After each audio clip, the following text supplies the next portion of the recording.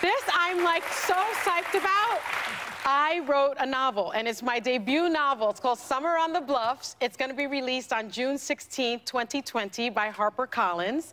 Um, and this is what it's about. So every summer, Esperanza Perry Soto, she's an Afro-Latina lawyer. No kidding. Uh, wow. She escapes... Where'd you get that idea?